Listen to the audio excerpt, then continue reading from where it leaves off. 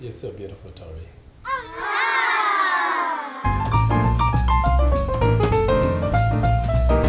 Hi, guys, everyone, whoever you may be. My name is Solo if you're new here, and if you're a regular, welcome back. This is I'm Tori. Tori, And seven. seven. She is Tori's an awesome girl, beautiful, loves everybody, and makes us laugh a lot. Today I'm gonna tell Tori a story of when I was a little boy growing up in Kenya. This story happened, I think I was around nine years old. We grew up uh, uh, in Nairobi near what the Nairobi National Park. And Nairobi National Park is a game reserve um, in the middle of a city. In that reserve, they also have what they call a safari walk, and it's it's a zoo where you get to kind of walk and, and see animals. They try to kind of make it a little bit more natural.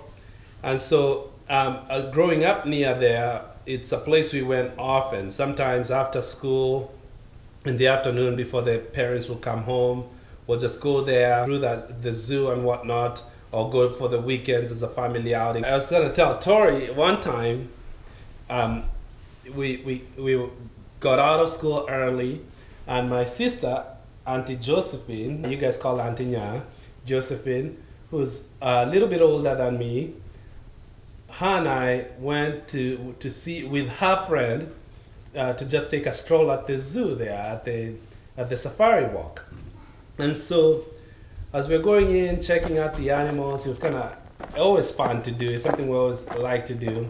But there's this the most active place in the zoo was where all the the monkeys and the chimpanzees and the gorillas were.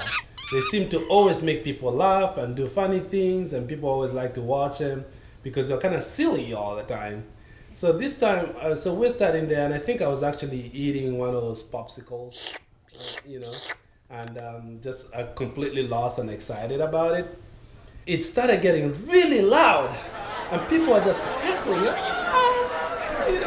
I'm thinking, what in the world is going on here?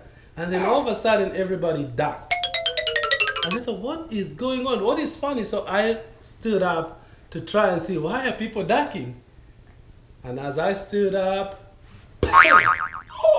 something hit me. The gorilla, his name was Sebastian. I will never forget his name because of what he did to me. He had a rotten papaya he threw it right on my face.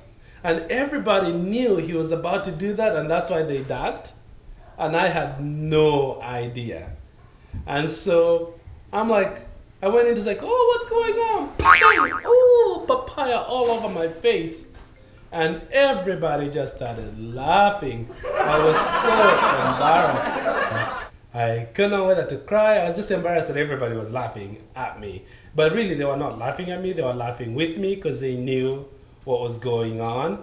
Uh, you know, it took me a couple days to actually start laughing at myself because I was so upset at that time. But uh, the more I thought about it, it was actually very funny, you know. So, and people were not laughing at me; they were laughing with me.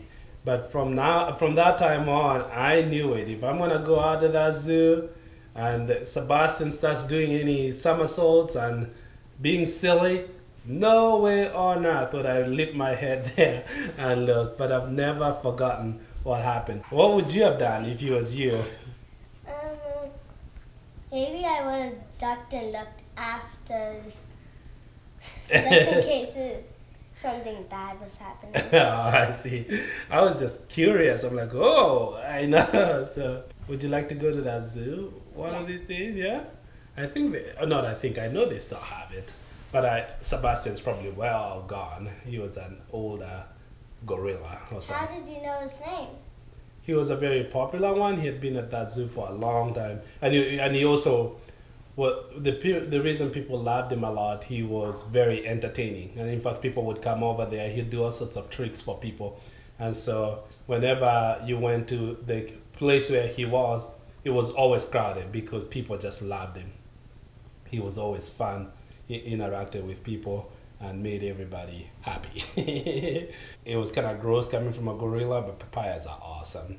You get it in tropical countries. Um, uh, and if you've never tried a papaya, You ought to try one. Just don't get it from a gorilla and a rotten one. You would really, really love it. All right, that's it for now. Bye. Thanks for joining us.